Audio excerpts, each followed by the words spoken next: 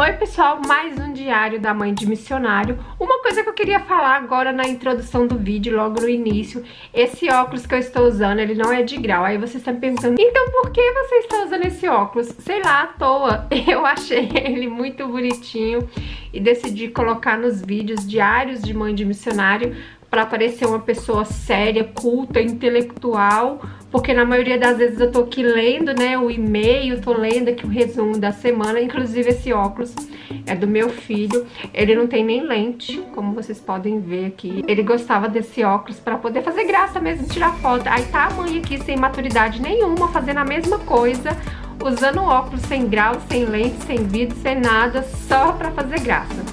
E eu vou ler pra vocês o resumo dessa semana.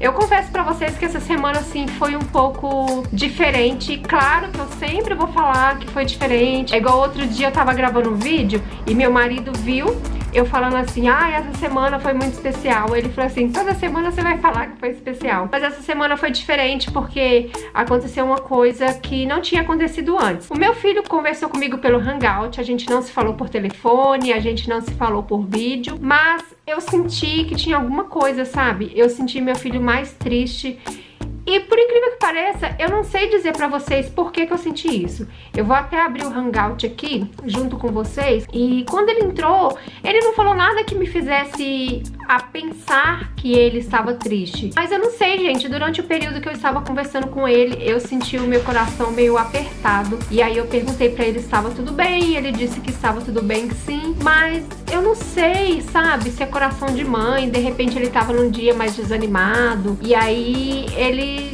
dizia que tava tudo bem. E aí teve uma hora aqui que eu até falei no, no Hangout que vai ter o dia das mães, domingo é o dia das mães, e a gente tinha que marcar o horário ao qual ele vai entrar na internet pra gente se ver. E aí eu perguntei pra ele é, marcar um horário, ele, ah, eu vou ver. Aí eu falei assim, porque tem um amigo dele, né, que é amigo nosso, que também está servindo missão, tá na missão Teresina, e a gente queria marcar um horário diferente. Dessa forma, os amigos dele podem ver os dois, pode falar com os dois. E aí eu falei pra ele marcar um horário eu falei, filho, que hora que você vai falar comigo? Ele falou assim, ah, não sei. Eu falei, por que, que você não viu ontem? Com algum membro ou com um companheiro? Ele, ah, marca um horário aí com o Hernani, eu entro no diferente. Aí eu falei, então vou falar pra marcar e pedir alguém pra te avisar, pra ver o que que acha mais fácil. Aí ele respondeu assim, ah, sei não, qualquer uma é boa. Tipo assim, o meu cachorro, ele canta, ele chora quando passa o caminhão do gás. Então, ignorem.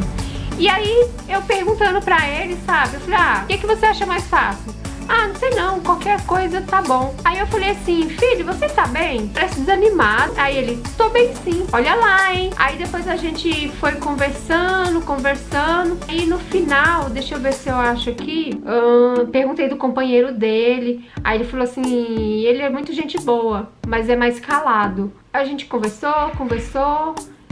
Enfim, ele não falou nada, sabe? Quando eu perguntei pra ele se estava tudo bem, ele falou que estava tudo bem, mas durante todo o período que eu fiquei conversando com ele pelo Hangout, parecia que tinha alguma coisa incomodando ele que ele não quisesse me falar. O meu coração, eu sentia mesmo um apertinho no coração, sabe? Coisa de mãe, talvez, intuição.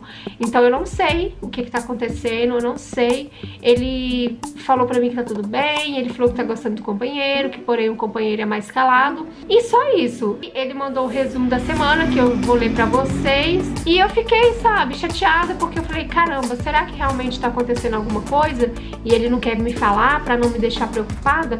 Então tem coisas que a mãe de missionário passa e ela só fica sabendo depois que a missão acaba ou meses depois. Tem coisas que os elders passam lá na missão e só conta para sua família quando retornam. Ou, sei lá, depois que o problema é resolvido. Então, eu só vou saber se nessa semana aconteceu alguma coisa que ele não quis me contar, se verdadeiramente depois ele falar comigo e falar o que está acontecendo. Eu vou ler aqui para vocês o resumo da semana em que ele falou o seguinte: Mais uma semana se passou e passou muito rápido. Tivemos conselhos de zona e aprendemos algumas coisas para ser melhores missionários. E depois teve entrevista com o presidente e foi bom falar com ele. Trabalhamos bastante e estava muito calor essa semana. Acho que parou de chover definitivamente. Ensinamos bastante pessoas e foi bom. Está muito corrido ultimamente e estamos ficando bem cansados, mas felizes. Sábado fomos na visitação pública do Templo de Fortaleza e foi maravilhoso. Ele está muito lindo por dentro e por fora. Realmente quero ter mais oportunidade de ir lá. Espero que essa semana seja ainda melhor. Tá passando muito rápido, já fiz quatro meses e o tempo está voando. Espero que todos estejam bem. Então esse foi o e-mail resumo da semana. Ele só me mandou três fotos, uma foto de um estádio de futebol e duas fotos que ele tirou com um porco. E assim, como eu faço em todos os vídeos ultimamente,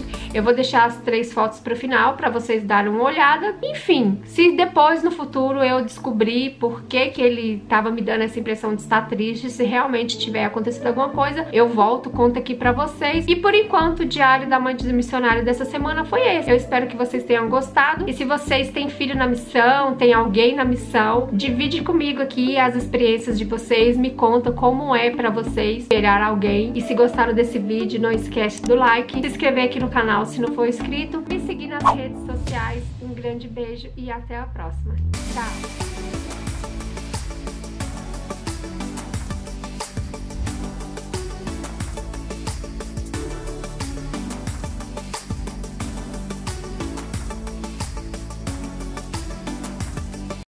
Turning